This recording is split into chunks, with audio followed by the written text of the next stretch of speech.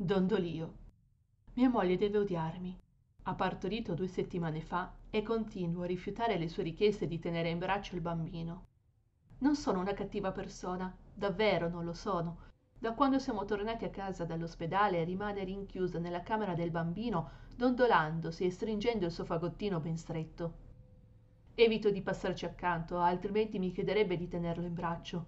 Non sopporto la sua vista non avrei mai voluto accadesse non a lei non a noi.